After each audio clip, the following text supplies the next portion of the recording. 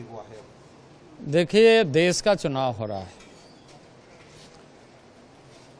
देश के चुनाव के लिए सांसद और सभी दलों के नेता अपनी अपनी बात जनता के बीच में रखते हैं। और जनता उसमें से सांसद के रूप में देश के लिए चुनती है। पिछले दस वर्षों में, यानी 2014 और 2019 में, भारत में अभूतपूर्व कार्य होने के वजह से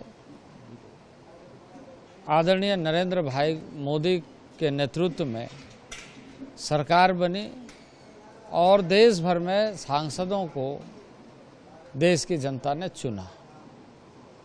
2019 के बाद 2024 का यह चुनाव हो रहा है।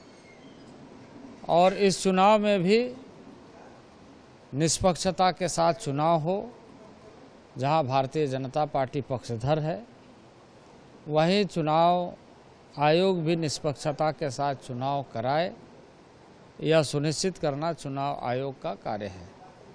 इसमें राजनीतिक दल कोई भी हो, यदि इस तरह के व्यवहार या इस तरह के आचरण अपनाते हैं तो उसकी लोकतंत्र में कोई स्थान नहीं है और जो आपने बात कहा, वह निंदनीय है कि कोई भी दल का प्रतिनिधि यदि अपनी बातों को कहने के लिए जनता से संवाद करता है तो राजनीतिक प्रतिद्वंदिता के कारण उनके ऊपर में हमला होता है, झंडे दिखाने का कोशिश करते हैं। तो मैं समझता हूँ कि देश की जनता और वेस्ट बंगाल की जनता भी इस बात को समझ रही है कि किस तरह के हथकंडे अपना करके यहाँ लोग देश के लिए चुने जाने वाले सरकार के लिए भी बाधित करने का कोशिश कर रहे हैं। भारतीय जनता पार्टी ने अपने कार्यों के बल पर देश भर में आम नागरिकों तक पहुँचने का काम किया है और पुनः भारतीय जनता पार्टी की सरकार बने आदरणीय नेतृत्व आदरणीय नरेंद्र भाई मोदी के नेतृत्व में यह देश चाहता है।